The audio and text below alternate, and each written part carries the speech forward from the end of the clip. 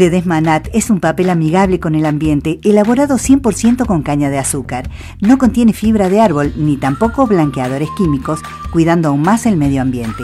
Además, la caña de azúcar es un cultivo renovable que se cosecha una vez al año. Debido a estas buenas prácticas, en pro de la sustentabilidad, cuando elegís papel Ledesmanat, elegís cuidar la tierra. Ledesmanat, elaborado 100% con caña de azúcar, 0% fibra de árbol y 0% blanqueadores químicos. Tu papel cuenta.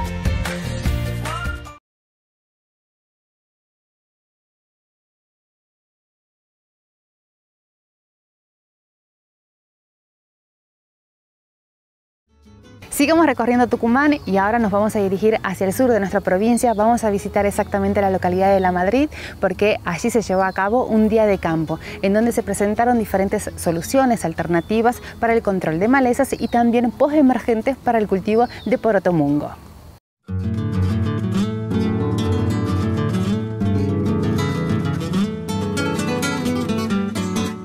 Gracias por recibirnos aquí en, tu campo. La verdad que una jornada muy interesante eh, y tuviste la predisposición de recibirlos a todos, ¿no? Que encima mucha gente. Sí, sí, la verdad que una jornada muy linda eh, con todos amigos, ex compañeros de la facultad. Eh, la jornada está muy buena porque, bueno, Luciano Agridi ha, brindado mucha información para todos los productores y para los, para los asesores técnicos. Exacto. ¿Ustedes hace cuánto están produciendo? ¿Hace cuánto que son agricultores? Eh, bueno, yo vengo de una familia de productores, soy la tercera generación, eh, estamos produciendo acá en la zona de Tacorralo y La Cocha. Y hace dos años comenzamos con eh, este negocio de exportación, estamos exportando las especialidades que producimos, como por ejemplo garbanzos, porotos mungo, atsuki, negro, ahora estamos desarrollando poroto black eye bean, que es el ojo negro, entre otras especialidades. Bien, ¿y todo se produce aquí en esta zona, en el sur de Tucumán? sí, en el sureste de Tucumán. Bien, Todo está localizado acá. Que, es un poco difícil, pero sin embargo vemos los cultivos que están impresionantes. Sí, es una, es una zona difícil, pero estamos haciendo un esquema que es bastante sustentable, siempre haciendo una rotación 50 y 50 con maíz, así que es una zona más porotera que, que sojera, así que estamos tratando de adecuarnos a, a los recursos que tenemos. Exacto, y todas esas especialidades que se cosechan aquí en Tucumán, ¿a dónde llegan? ¿Dónde se eh, consumen después? Sí, nosotros estamos comercializando, por ejemplo, el garbanzo en, el Medio Oriente, como por ejemplo en Pakistán y Jordania, y el poroto mungo en el sudeste asiático, en Vietnam, Malasia, eh, y el poroto negro lo mandamos a Brasil.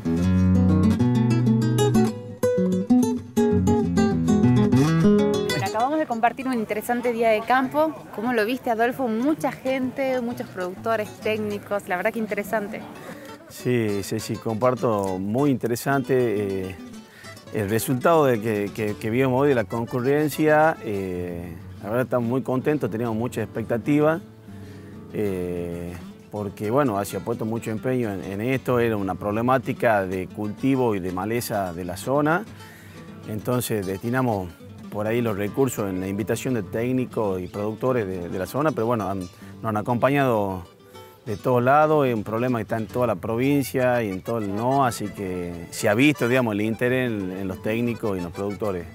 Estamos muy contentos con ¿Y cómo surgió la idea de este día de campo y de presentar de esta manera los ensayos?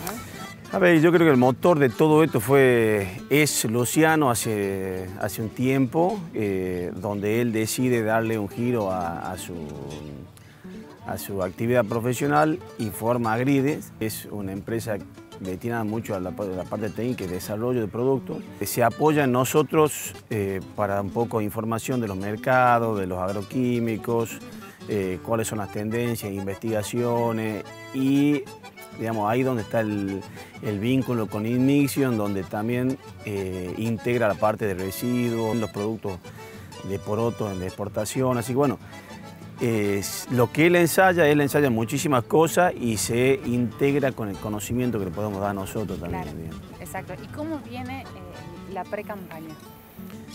Hermosa pregunta. Eh, yo creo que los, a ver, los productores están eh, comenzando a, cosechar este año, eh, más o menos hace 10 días en adelante con los primeros lotes. de todo tipo de, rendimiento, de, rinde.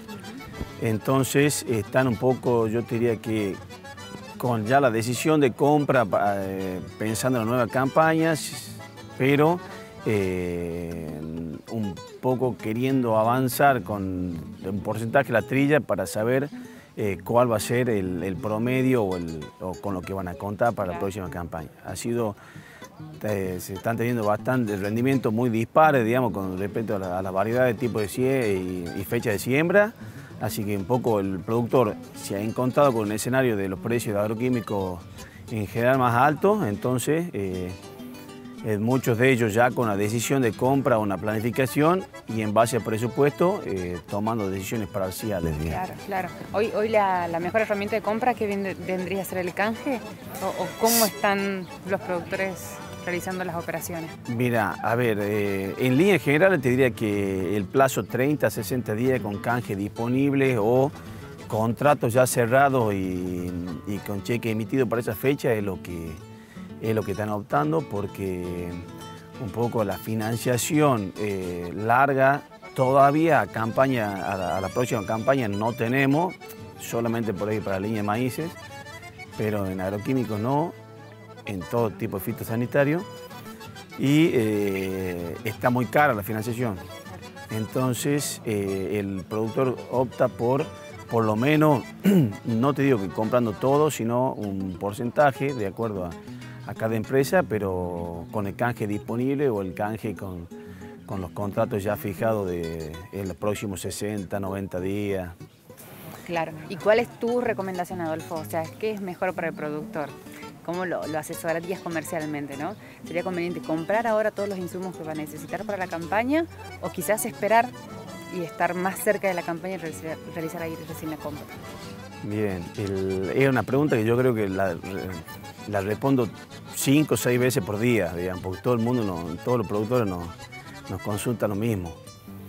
Eh, la recomendación es hacer el presupuesto, comprar, capaz que no todo el volumen de compra eh, que uno va a utilizar o planificado, porque hay alguna información de que puede, los precios pueden bajar. La verdad que entrando en Argentina los precios que uno ve en el exterior que pueden bajar no se ven reflejados y al contrario, en Argentina aumenta. Estamos con mucha incertidumbre de la importación, del volumen que se va a importar, en los tiempos, eh, productos formulados directamente del exterior no están entrando, cuesta muchísimo.